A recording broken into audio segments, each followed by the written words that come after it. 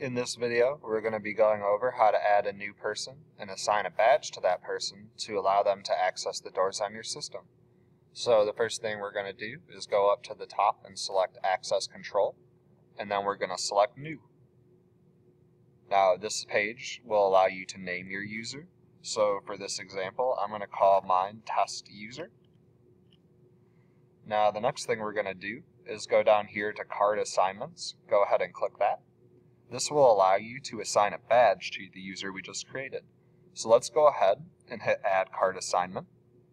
Uh, the Display Card Number column is going to be where you add the card number that is found on the badge you assign to your user. For this example, I'm going to use 12345 as my card number. Next, we're going to see the Active On and Expires On columns. The Active On is the day that the badge will start working, and the Expires On is the day that the badge will automatically expire.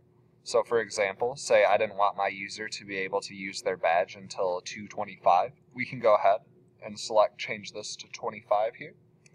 So now this user will not be active until 225 2018 at 12 a.m. So they will not be able to use their badge until then. The expires on column is almost the exact opposite. It's when the badge will automatically expire.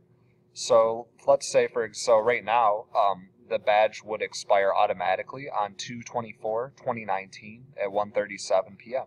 So let's say I'm anticipating that my user will be hired at my company for longer than a year. We can go ahead and change this end date to 2022.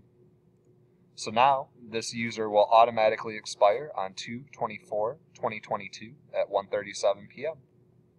So now that we've done that, we can go down to the bottom here and hit save and then we can go back to our person information tab. Now we can assign the user an access level. This access level will tell you which doors they're allowed to access to and at what times.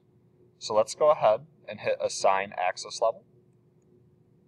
And then we're going to go ahead and select this drop down menu for my example, I want my user to only have access to the data room from 6 a.m. to 7.30 p.m. So I'm going to go ahead and select this access level here. And then we're going to go down to the bottom and hit save.